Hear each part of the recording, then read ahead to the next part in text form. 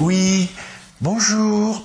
Alors voilà, j'aimerais m'excuser auprès des Gilets jaunes. Je ne pourrai pas être présent euh, lors euh, de la manifestation de, des un an d'existence. Oui.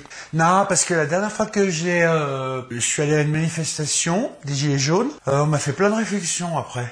Quel genre de réflexion? Bah déjà on m'a dit que le jaune euh, ça m'allait pas au teint Bah. et en plus que mon gilet me boudinait. Et alors ça euh, ça a eu du mal à passer hein. Alors moi c'était terminé les gilets jaunes. Hein. Attends, faut pas il y a des trucs moi ça me Oh non, là vraiment euh,